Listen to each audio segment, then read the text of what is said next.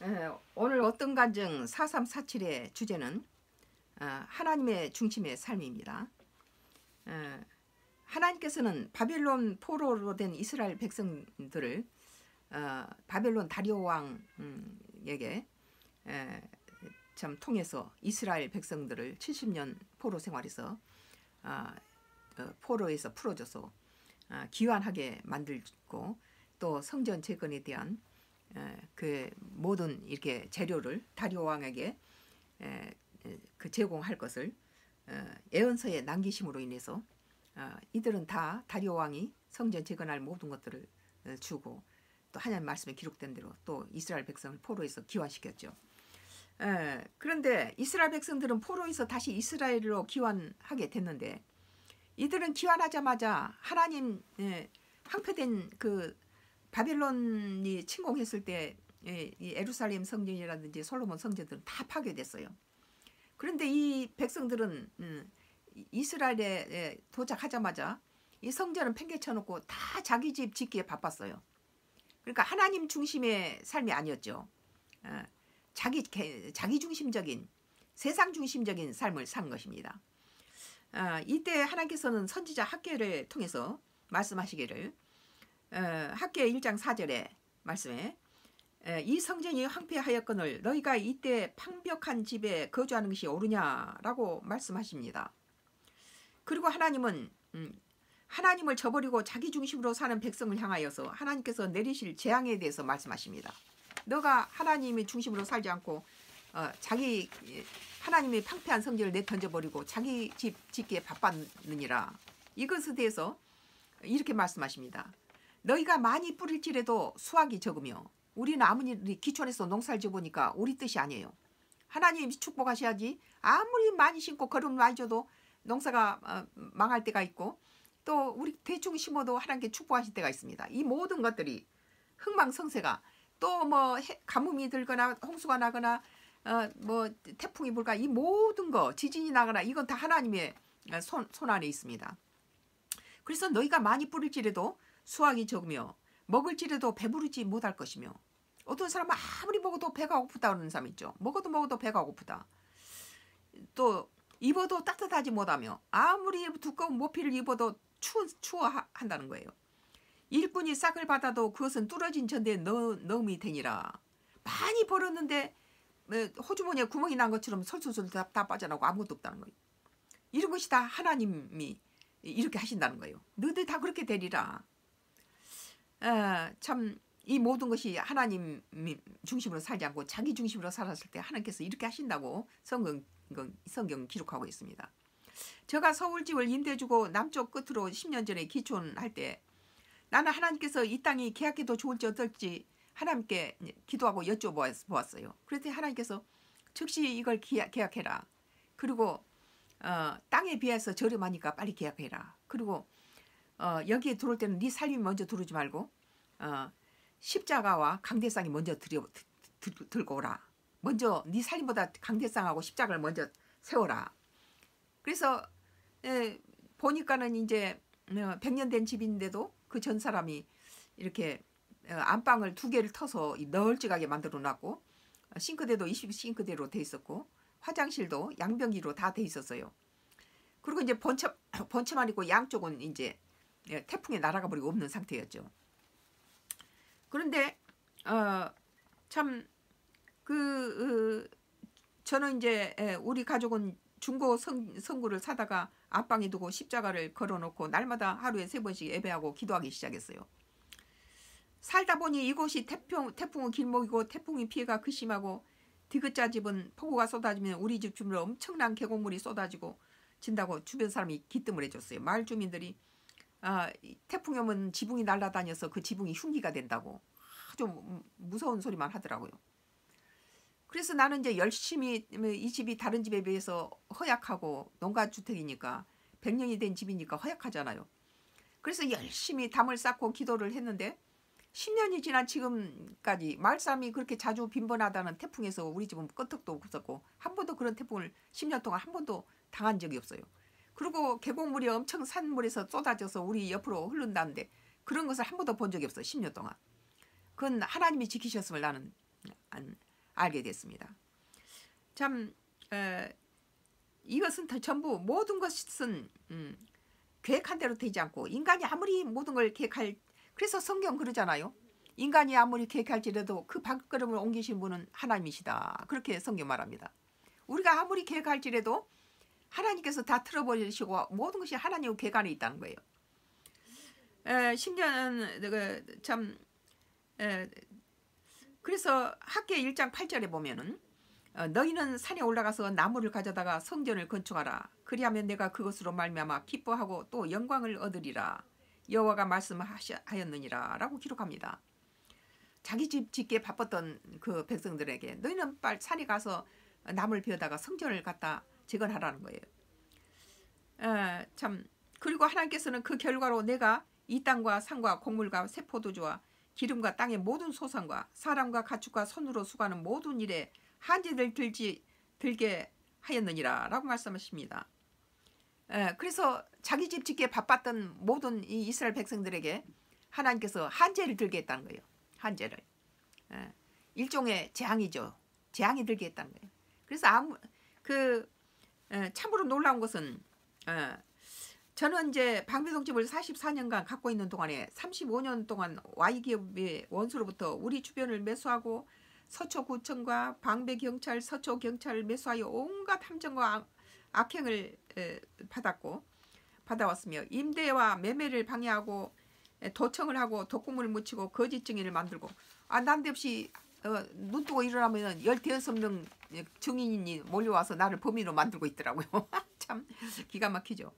아, 그래서 방배동 부동산과 우리 집 세입자들은 시세의 절반값에 살면서 100% Y기업에게 매수당하여서 우리 적이 되었고 소송을 걸게 했고 매번 세입자들을 매수해서 소송을 걸어왔어요. 그리고 가짜 증인이 16명씩 줄을 지어서 어, 증인을 하는 거예요.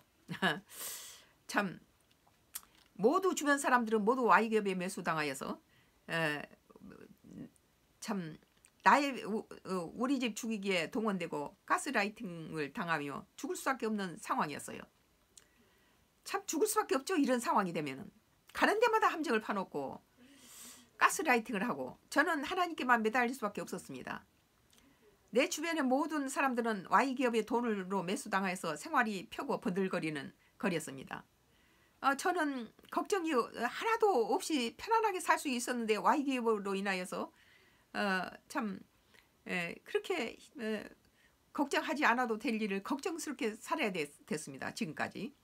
참으로 놀라운 사실은 에, 시간이 지나면서 Y기업에게 매수당하여서 우리에게 가스라이팅이나 해를 끼치는데 동참한 사람들이 여러 가지 고통으로 어려움을 당하는 걸 목격했습니다. 에, 하나님께서 잘못된 악인의 돈을 받은 자가 돈을 불어버렸던 거예요. 그리고 재앙을 닥쳤습니다. 한재가 아까 말씀에 한재를 준다고 그랬잖아요. 한재가 들어가지고 본인과 자식들이 암에 걸리는 거예요. 그리고 고통을 음, 받는 것을 자녀가 또 죽는 것을 봤어요.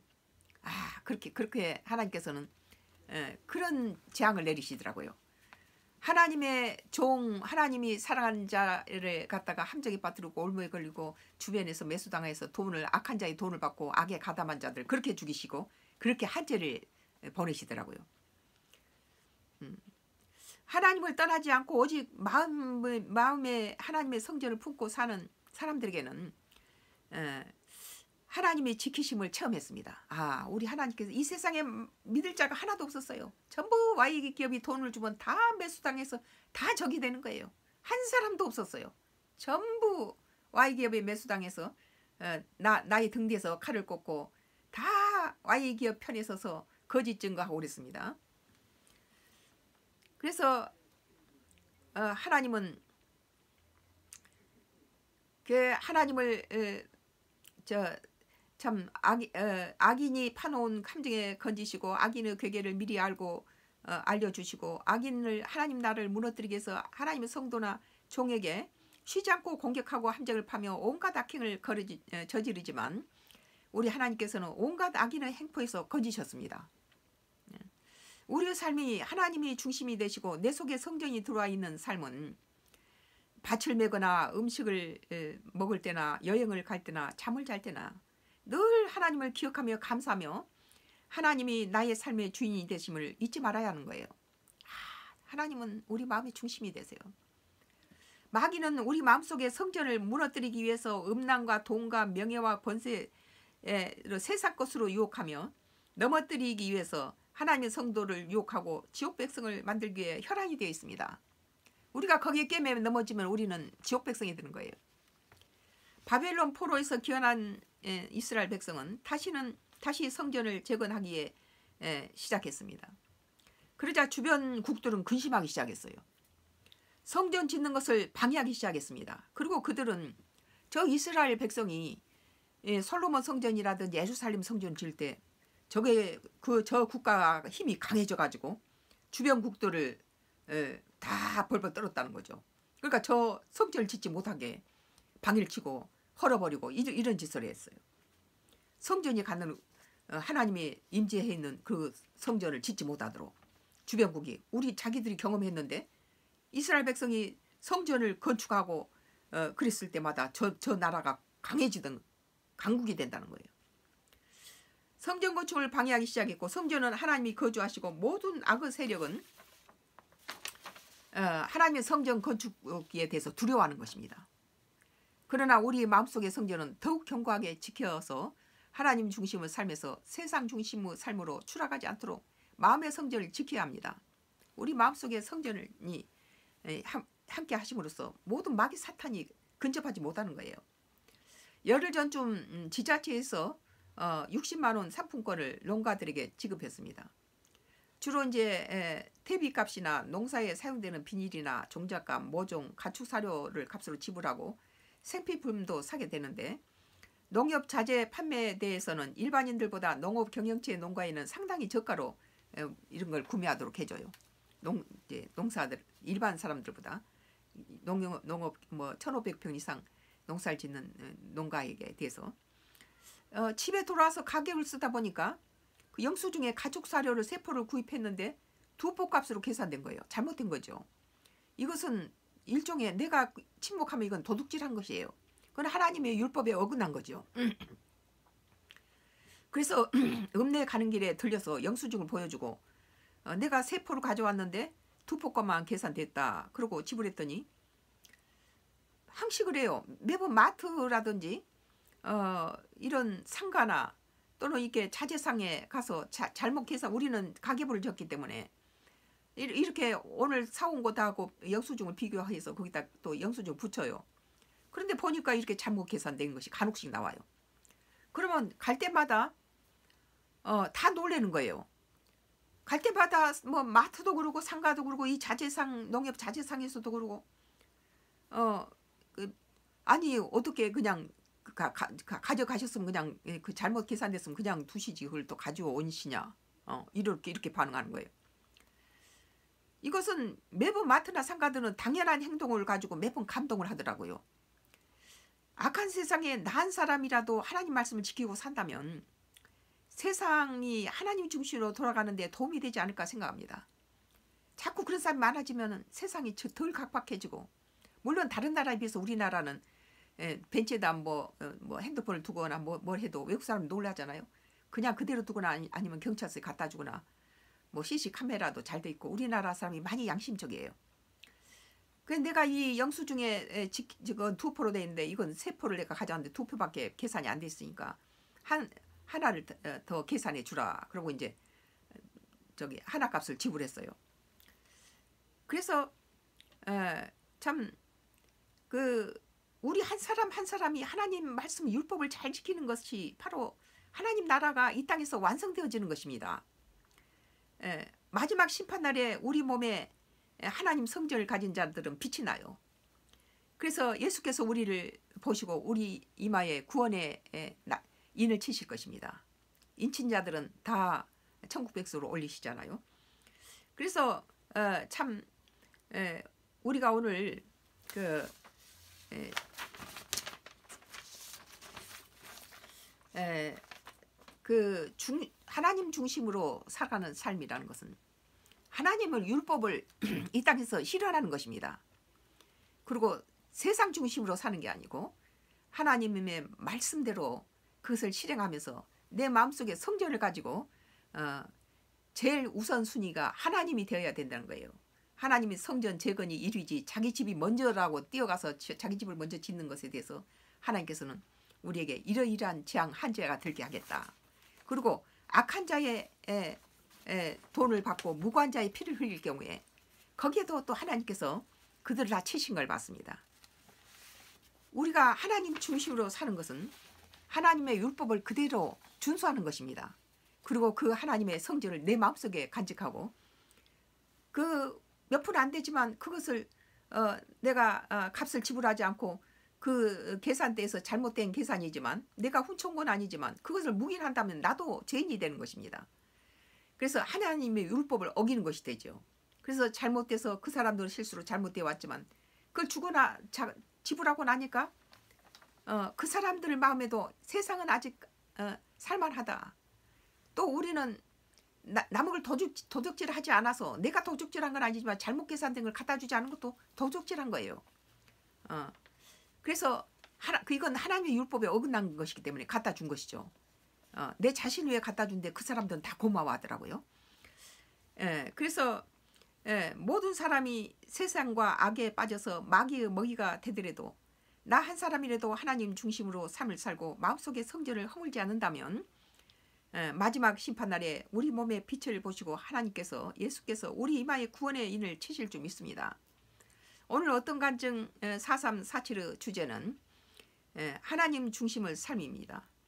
잠시 후에 어떤 간증 4347의 설교를 들으신 사랑하는 성도 여러분을 위해서 축도와 중보 기도가 있겠습니다.